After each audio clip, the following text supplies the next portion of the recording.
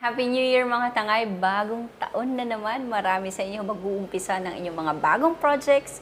Pwedeng bahay or pwedeng apartment business. So for all of you who are planning to start your apartment business this 2022, this video is for you. This will be our 10 things to do on how to start your apartment business.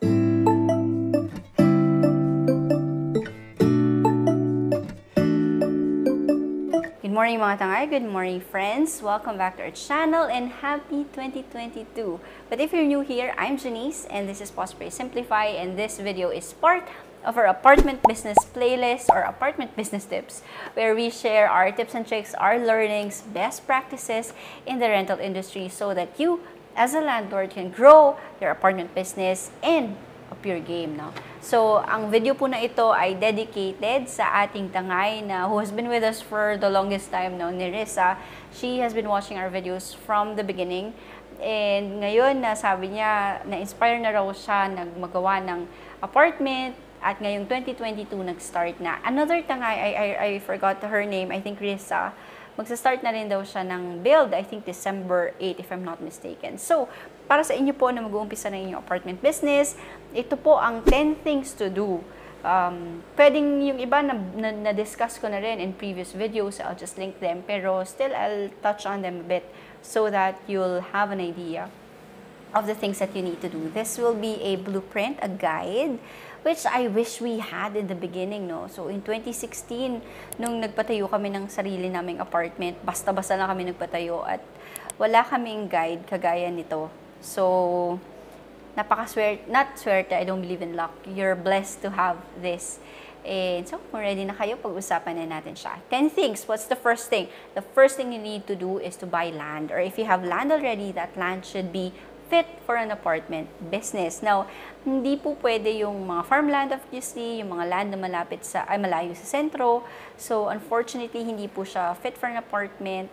The land that's fit for an apartment is yung malapit sa lahat. Malapit sa transportation, malapit sa areas kung saan may trabaho, malapit sa palengke.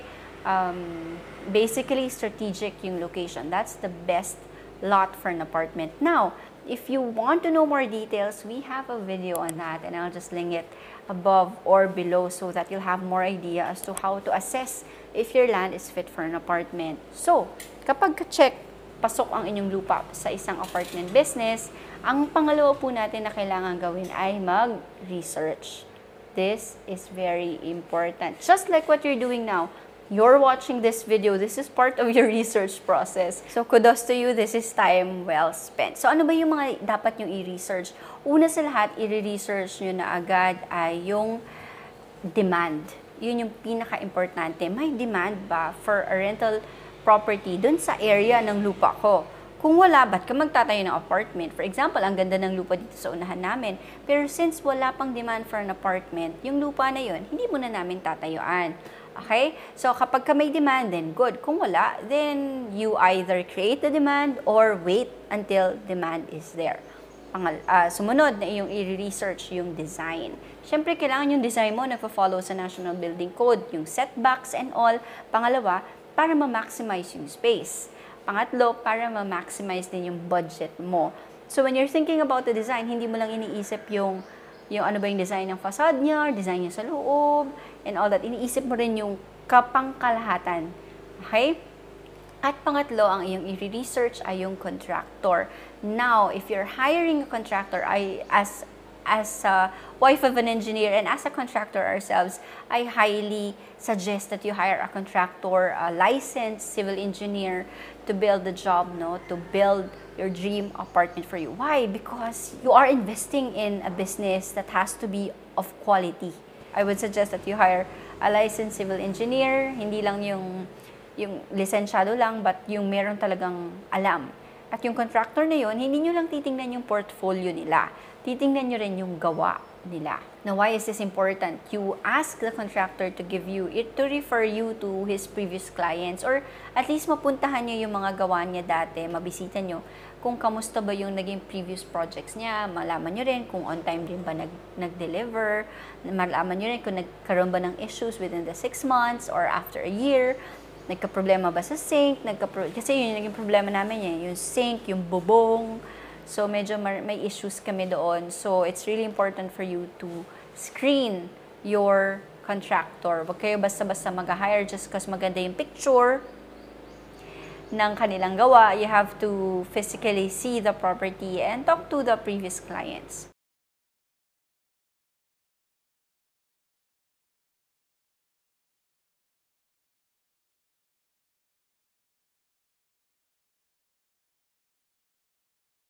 So if you're not able to do that because you're abroad, then ask a family member to do it for you. Now, kailangan mar- marunong din yung mag-visit, no? Baka maya pagkakita niya may dumi lang, ano niya na. Ang issues po ay, syempre, kung straight ba, kung nasa hulog ba, yan yung mga titingnan. So, I hope that that person knows what he's doing. Uh, if you need a uh, more detailed video on that, I, we can do that. Okay. Um, pangatlo, this is very, very important. The th third thing that you need to do is to be financially prepared having an apartment business or starting an apartment business is a big deal and you will need a huge sum of money for this. Now, kami po, when we built our apartment, we have a video on that as well, kung paano namin finance, no? Kasi kapag kukuha po kayo ng contractor, meron niyang standard na 30% deposit. Siyempre, kasi kailangan niya mag-umpisa. Kailangan meron siyang pondo para mapaumpisahan yung project. And then, uh, nagbibill na lang po yan based on accomplishment. So, kami po as naging, kasi na, naranasan namin maging client at naranasan din namin maging contractor, nung client kami, naka-ready lang po yung pera namin. Every time magbibill yung client, yung contractor, nagbabayad kami. Kayo po bilang kliyente, para fair, sorry, I have to say this, para fair, kailangan handa yung pera nyo. Kasi magpapagawa kayo. Kasi yung speed ng accomplishment ng project nyo will depend on, of course, yung ano nyo rin, yung kung updated din ba kayo magbayad. And kung wala naman siyang na-accomplish dun sa contractor part, no? Kung wala naman siya na-accomplish, huwag kayo magbabayad. So, ano lang yan, both ways lang yon So, make sure you have the ready money and then make sure na nakaka-accomplish din siya bago kayo magbayad. Okay po? Para clear, make sure uh, that meron din kayong personal emergency fund when you are building your apartment. Bakit? Hindi po pwede na pagka nagkaroon ng emergency sa family, yung nakatabi yung pera para sa iyong project ay magagalaw nyo dahil may emergency kayo sa family. So, kailangan may nakaset aside kayong personal emergency fund. Hiwala yung fund na pang project, hiwalay din yung fund for personal use. Okay po? That's very, very important. Pang-apat, the fourth thing that you need to do is to hire a consultant. Since you're abroad, so most of you are abroad, no? You're abroad and your project is in the Philippines, I suggest and I recommend that you hire a consultant to check the progress for you. Now, this can be an engineer, uh, QA/QC engineer. My husband is a QA/QC engineer. Actually, yung husband ko, nanggaling na siya sa contractor side, nanggaling na rin siya sa consultant side. So, nakapagtrabaho siya sa parehas na na par sides, no? So, alam niya kung paano mag shortcut yung mga contractor. Alam niya rin kung paano ipasa yung mga, uh, ano man tawag dito? Uh, non-compliance. Ano yun, Bix? NCR. Non-compliance report? Something like that. So, nakita niya, nakuha niya na yung both sides. So, it's important that, especially if your family does not know anything about construction, you can hire an engineer to do the job for you. Hindi naman kailangan na the whole time andun siya, no? So, basically, he or she will serve or act as your eyes and ears. So, pwede siyang mag-visit during the important milestones, no? During, during the layout process, during the, ano ba ba, pagbuhos ng mga poste, pagbuhos sa, sa slab and all that, yun, paggawa ng mga bubong. So, ito po ay third party uh, individual who will represent you to make sure that your contractor is doing his job properly. So, it's an added expense. But, if tiwalang-tiwala na kayo sa contractor nyo, magaling talaga sila and nagbibigay talaga sila sa iyo ng update at maganda talaga yung gawa nila, then you don't need to hire a consultant. This is an option. Isa pa sa gagawin ng consultant na i-hire mo ay magsasnagging before turnover. Snagging is doing a proper checking of the entire building before turnover. So kung merong mga bagay na kailangan repair, for example, uh, mga na, nasira or naghiwalay na plaster, yan, pwede nilang i ipas, isa snagging, pwede nilang ipaulit yun sa contractor before turnover. So that's very, very important. Now, the fifth thing that you need to do once natapos na yun is dun sa turnover, na turnover na sa inyo yung project, no?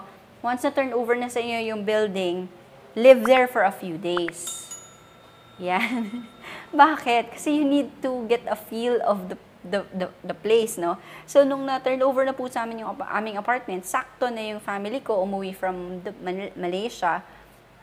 So, anong nangyari is, pinatira ko sila doon and then sinabi nila na doon daw sa baba, medyo, doon daw sa taas, medyo mainit, maaraw. So, dahil dyan, nagpaglagay kami ng canopy. So, kung ano yung needs, sila yung, kumbaga, ay i-review nila yung lugar according to how it benefits them as a user. So, kung kanina, ang titingnan mo, yung consultant will review or will check according to how it's built, ito naman, ang mag, kaya mo siya titirahan is para ma-check mo how you are going to use it. Kumbaga, ano, paano mo siya, paano ka kakomportable, gaano ka kakomportable sa loob.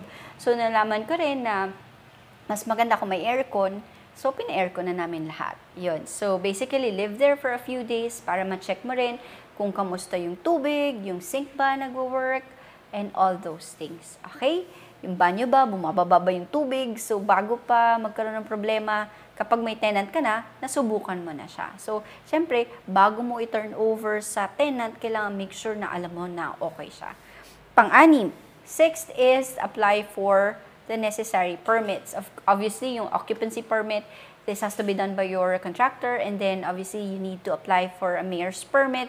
And all I already have a video on that and I'll just link it above or below. Why is it important to have a mayor's permit? Because it's always best to operate legally. You wouldn't want to be caught on the other side, you know, yung ma-penalize ka, you wouldn't want that to happen to you. And of course, ako, I, I go for doing things the right way. Number seven. Seven is, even if you're still in the process of applying for a mayor's permit and all those things, you can already start promoting. Promote, promote, promote. Now, join FB groups, uh, in your area, join as many groups as you can and then promote it among your friends. ask friends for referrals and then uh, kapag ka merong areas na, for example, katabi siya ng Bangko Sentral, then tell people that you have an apartment close by. Meron na rin po tayong video on how to promote your apartment business, yung kung paano ba mag-picture and all that. Kompleto po yun. I'll just link it in the description box below. Number 8, Okay, so nakapag-promote ka na. Ngayon, meron nang nag inquire Pag may nag-inquire na po, start na rin ang iyong screening process. Now, you screen tenants because you wouldn't want to have tenants who are problematic. Ano ba yung mga problema? Yung hindi nagbabayad on time, yung medyo magulo, yung medyo madumi, medyo problematic talaga, no, pasaway, no? So we have a video on screening your tenants. It's important that you screen them so that you'll have peace of mind. Number nine, the ninth thing that you need to do is as you turn over the apartment, you need to make sure that you do a turnover inspection. So, ikaw at saka yung tenant, dalawa kayo, i-inspect nyo yung apartment para makuha niya yung apartment sa uh, na sure kayo na maganda yung apartment nung nakuha niya ito. So, take note kung may mga sirang doorknob.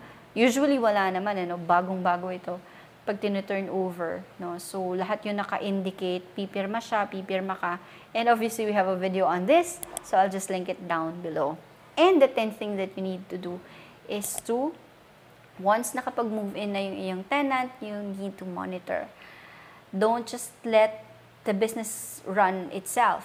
Although passive income naman talaga ang apartment business, you need to monitor, monitor your income, monitor your outgoings, monitor the electricity bills, monitor the things that you spend, additional things, monitor your taxes, monitor everything.